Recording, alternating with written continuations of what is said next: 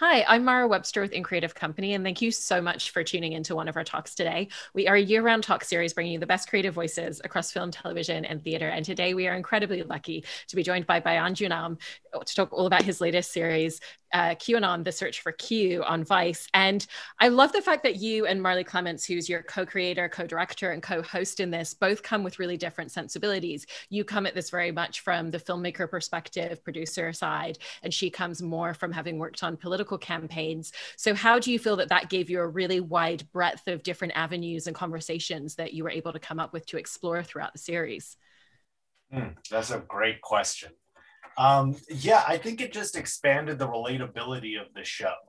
I think that, you know, ideologically, viewers were able to see within our conversation something that they could agree with.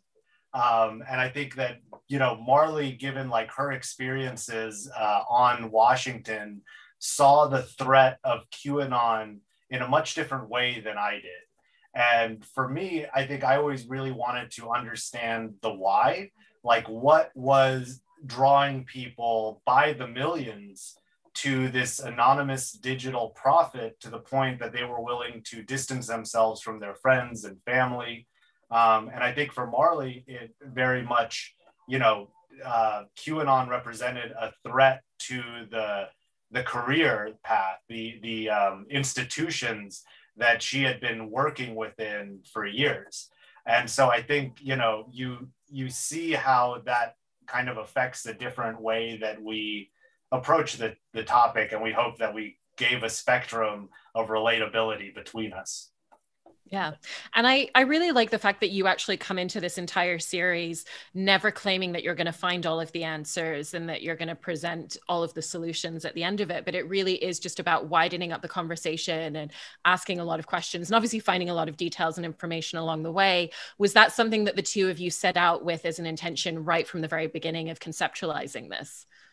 Yeah. I mean, I think that very, yeah, I like, I like how you put it. Um, for us, it was always about trying to advance the conversation from where we were seeing it happening on the news, which was only fostering further divisions between people who kind of believe in QAnon and people who are against QAnon. And it became very difficult for, I mean, me as a viewer to again understand the why behind all of this. And and like it was harder and harder to understand that through like an intermediary being like uh, an anchor on a news show or like chuck todd you know explaining it to me rather than just hearing it from anons themselves. So our first intention was really to go out there and hear from anons like what is qanon? Like from a believer's perspective um, and answer that question. And then the question about who, I think on some level, we always knew that there's, uh, you, you're never really going to know, you know, short of having, you know, a manifesto years prior that was published, even then it raises only more questions. And I think the question about who QAnon was was really stuck between these two polar opposites, which was, you know, it's a, it could be some loser in his basement, you know, starting it as a troll, or maybe it's, you know, people close to the president. And those are wildly different assumptions to make. And they also have a very different level of threat that they presented to the American public. And so we wanted to try to parse out like where is there truth and facts within all of these assumptions that were being made and know that you know the documentary really represents our journey to find out the answers to those questions more so than claiming that we have the answer to those questions Mm-hmm. And the series really leads to this almost three pronged um, theory that you have by the end of it of what the different possibilities are likely to be. Was that very similar to what you suspected at the beginning, or did it take you on different different tracks into what you ended up with as those theories? No. So that is one of the things is that you genuinely are seeing us discover, ask the questions, and go from one interview to another and kind of put together these pieces that felt very disparate in the beginning. Um, but the other thing was is the news was happening as we were filming. uh, a number of the people's involvement that we discussed, especially some of the higher level officials that were close to the president, you know, their involvement became more and more active as we were filming. So we saw the the organization happening in real time. We saw the different types of information warfare that were being implemented by kind of different factions of the QAnon leadership um, while we were shooting. So we were really, I was very surprised at where we landed.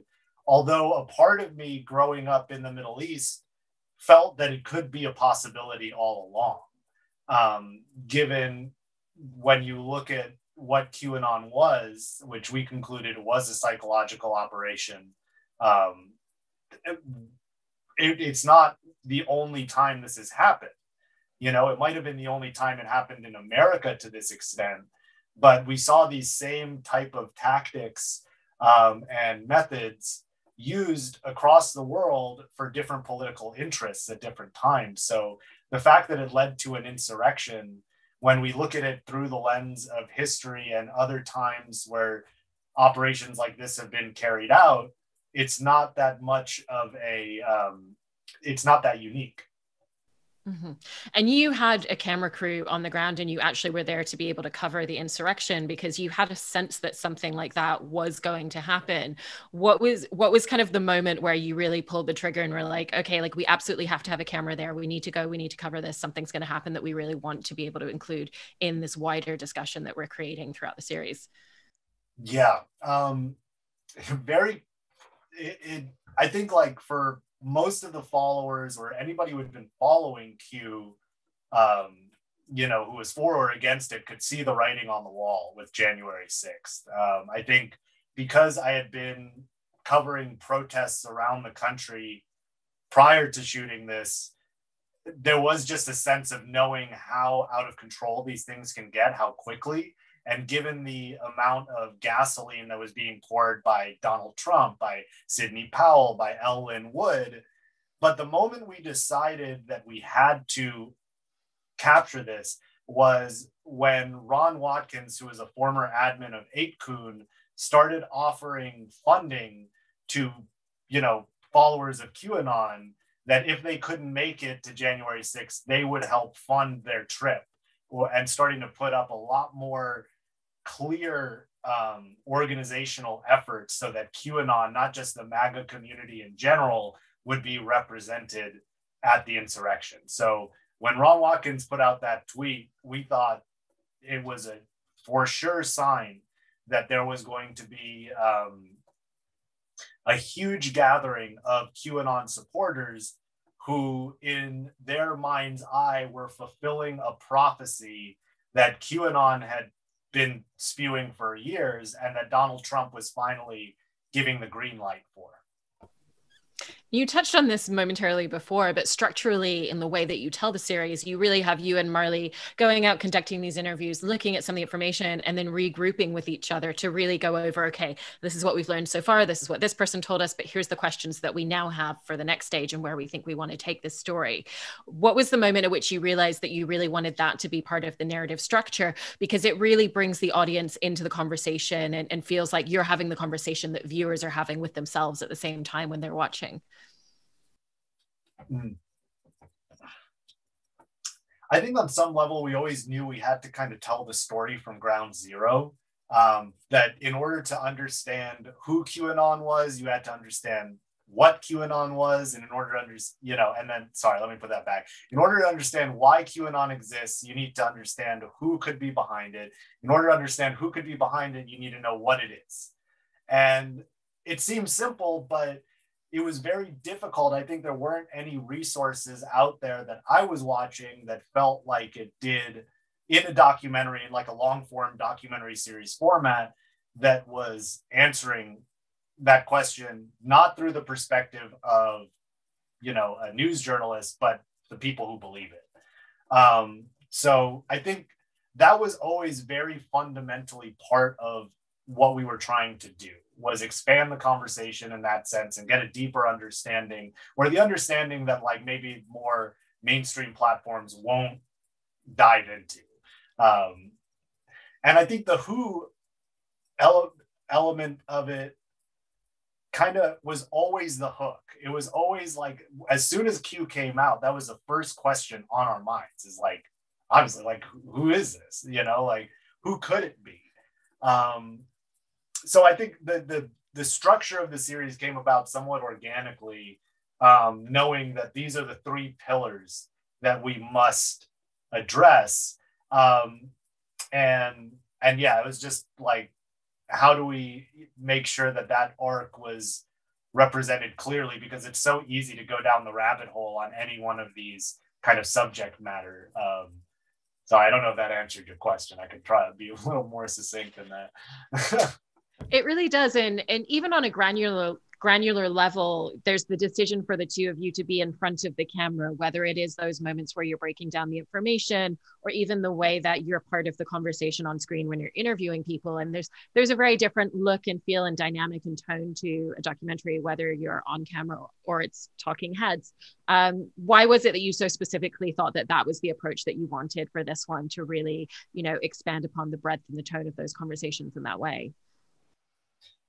Well, I can speak for myself at least because uh, I've never really seen myself as a host or being an on camera. I've always been behind the camera. Um, but for this project, a, a lot of my career has been focused on trying to tell positive, uplifting, and you know stories that help move humanity forward in some sense. And I felt like this was a really interesting opportunity to put that to the test in a way that I hadn't before because this subject matter was so controversial and inflammatory. And I thought that if I could be on camera and host this show in a way that I didn't see, I could I could provide the tools and, and demonstrate for people how they might be able to interact with people in their lives who have fallen down the Q rabbit hole or just conspiracy in general, that rabbit hole. And I can like model how to have the conversation in a respectful way, in a way that didn't seek to like ridicule or make fun of or put down somebody.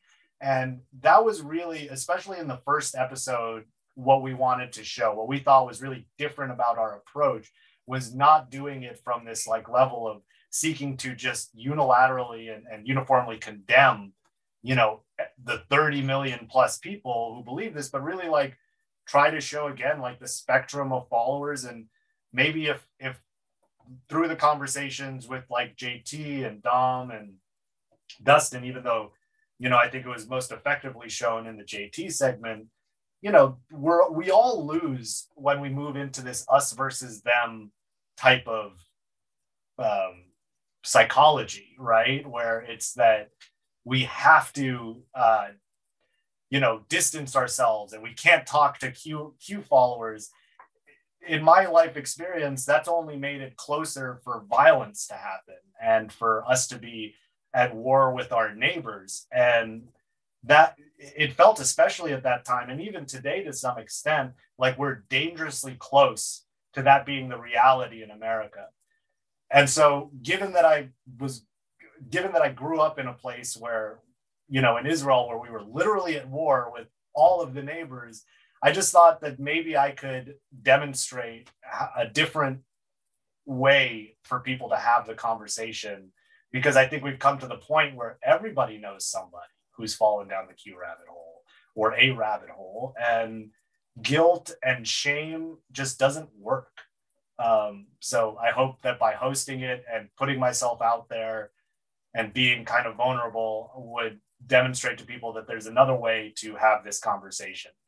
Um, yeah. And within the delicacy of these conversations as well, you know, these are beliefs that are incredibly personal to people. And, you know, in in the way that you manage to approach it, you manage to ask them questions which are challenging some of the things that they believe and really probing them on matters.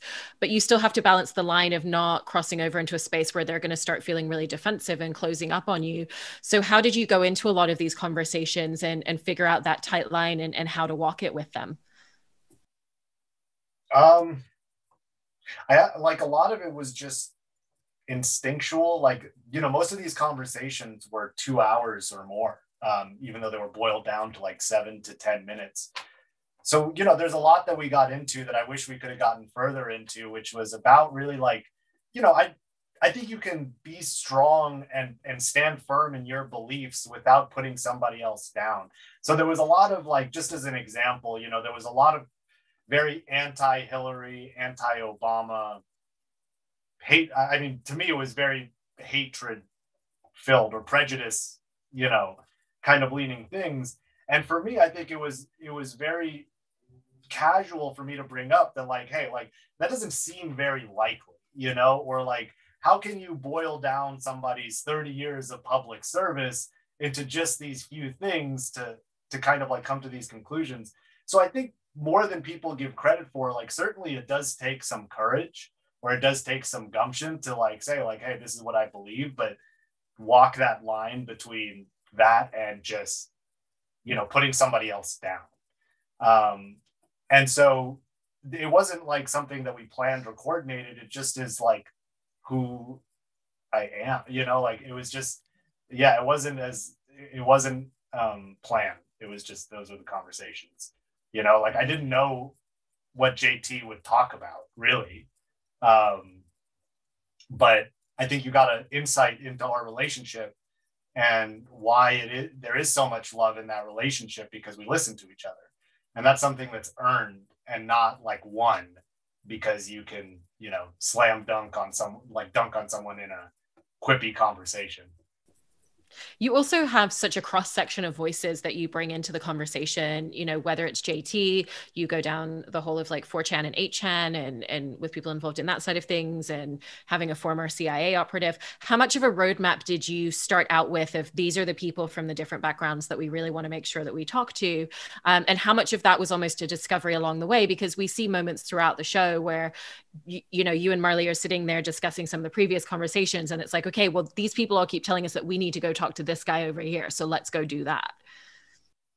Yeah, I mean, I think that we reached out to a lot of people uh, on this series, and we got very fortunate um, that the folks who were willing to talk to us, you know, did so. I think some of them really took that platform as an opportunity to um, further and double down on many of the beliefs that were foundational to Q and um, you know we we really wanted to build for the viewer kind of like the journey of the rabbit hole because we're not the only people who have tried to answer this question.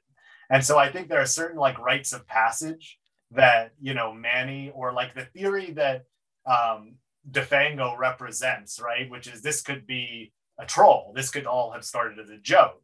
And he represented that and we wanted to give the viewers um, a way to engage with that theory in a practical human form, right? Like Manny represented what that theory looks like. Robert David Steele represented what it looks like when members of the former members of the intelligence community are putting their voice behind this, their voice and their credibility behind this. And that's scary. And so if people watching, you know, Robert David Steele felt scared, like they should you know like these are the beliefs that led to and the credibility that a former intelligence officer you know lends to movements like this. And so we just wanted to show people really what that looks like not in a prescriptive way not in a way where you know we were sitting there shaking our fingers at robert david steele saying hey like sandy hook really happened as we were there in that hotel conference room. But it was more like we were sitting there just being hit with like the greatest conspiracy theory record, like one after another. And just like the viewers, I think we were in a position to be like, oh, like this is where this is coming from. Like this is how decades of this type of um, this lack of trust with between everyday people and their institutions that govern them or weaponize, and then people are radicalized around. Um, so we just, I think we wanted to paint that picture of like really like why that happens, but not in a way where people watch and they're like, man, like those people over there believe that these folks are eating babies. And like, certainly that's a part of the ideology. But when you dig deep into like where that comes from, you start to see why people believe it because you have this CIA officer telling you, like, I know this and that's that's really hard to just write off if you're by yourself in a room watching youtube videos versus like you know me and marley having the support network that we did around us um, to help kind of uh, combat those assumptions and also put it in context that conversation also felt like it it kind of landed in a very different tone to a lot of the other ones and that you know he he did come across as someone that had a little bit of that defensiveness ready at the get-go regardless of your questioning and you could almost see it on both of your faces and and the shift in your body language in that conversation compared to other ones where you were able to have a bit more of a shield up. What what was the difference in the environment in the room when you were having those conversations with him as opposed to the other interviews that you both did I mean, Robert David Steele is a wild conversation to have. So, like, from the top, we were hit with, again, like the greatest hits of every conspiracy theory you've ever heard. You just one after another. And so, like, my first instinct, I'm embarrassed to say, was to kind of make jokes or like try to, like, I, I think I made a reference of being like, are you Morpheus right now? Like, I didn't know that I'm Neo, like sitting here. And just to like see if he would acknowledge some of the absurd nature of what he was saying. But there was no willingness to do that, right? And that I think is once we started talking about Pizzagate um, and kind of the what he described as collateral damage uh, being that people who were accused of things that they didn't do, their lives were ruined as a result of it. And I'm not talking about like the Clintons, you know, and we were like, but what about not just like saying like this and that, but like a lot of people's lives were affected by this thing that you actively promote. And I think at that point, kind of the something switched I saw in his eyes. And I, I saw that a couple of times when people like suddenly identified us as, you know, press or media. And then it was like, you know, just total shutdown. Uh, you know, just next question. I don't know anything about this organization. I've definitely been a part of, and anybody on, you know, can easily look up, um, or this person that I clearly have a relation. It was just complete shutdown, and um, I think for me, like I was just stunned. Honestly, like if I look, if I think back about how I was feeling at that moment. I was just like so surprised that this he would be so forthright about all of these things that you would think is like really privileged information that a CIA officer has that he's now just like out to to and, and that I think in and of itself, I trust the audience to look at that and be like, if this were true, if any of the things that this guy was saying were true, like how how could he just be out here spewing this and like nobody of note would ever kind of pay attention? And he's been doing this for 30 years. So you know i I, w- I was surprised by that conversation. that was one of the more tricky conversations uh, to manage around. And we got a number of threats after the fact. And just you know it gets into some tricky territory and you know you take a lot of moments throughout the series to cut away from the interview and to debunk some of the things that are saying to say like there's absolutely no proof. This is definitely not true. You know this isn't this isn't a fact at all but at the at the same time you could have spent the entire series doing that every 20 seconds. So how did you determine where it really felt like it was an absolute necessity to make sure that nobody felt like you were endorsing or supporting any of these ideas and that there's absolutely no truth in them versus when you could kind of let it live on screen for a second and leave it up to the audience to to know that? Yeah i think a lot of them were contextual. Like a lot of them you know what we were the sandy hook is a good example but we always just tried to examine the human cost of each statement that was being made. And knowing that there were families that were affected by sandy hook still out there like being affected by these things they like really moved um, us to saying like no, no we really need to make a statement. And it was it was trying to acknowledge like the human cost of so many of these statements. Whereas some of the other statements were certainly hateful and prejudiced um, but they didn't like they didn't um, have that level of, I guess, like um, active harm in the misinformation that was continuing to be caused um, towards people who were who weren't able to defend themselves, who have no method of recourse, and has been that way for a while. So I think for us, it's like obviously like the Clintons being public figures, like none of these concepts were new, but having you know been witnessed and been around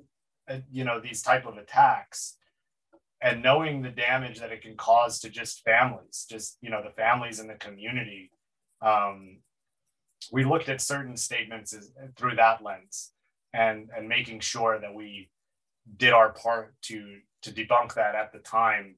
Um, and you know it's complicated. I think it was a real conversation that we had every single day that we were making this thing is like where is that line right? Of not wanting to be prescriptive trusting the audience to recognize the context that these things were being said in but also not wanting to further platform these ideas. And i think that you know we we made the choice that we have to delve into this stuff if people really want to face it and understand it and have a, the ability to confront it um, in the future, we couldn't just ignore it. So um, it's it's kind of like a, a really tricky question, and I'm proud of the way we did it um, because I don't think anything else in this space has found a way to um, to provide this level of insight into the origins of these theories as well as like how they manifest today. Um, and again, like what do we do now?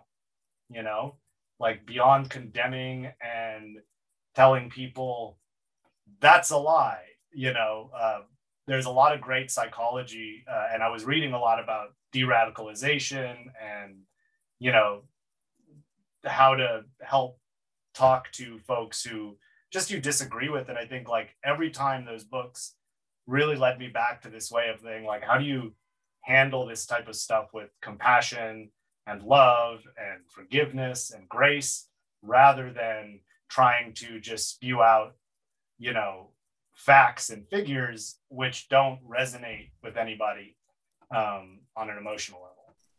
Yeah. Well, I want to congratulate you on the way that you've managed to convey and tell this story and, and find a voice that, like you said, no one else in the media was really tapping into. So, congratulations on on all of that. And thank you so much for this conversation.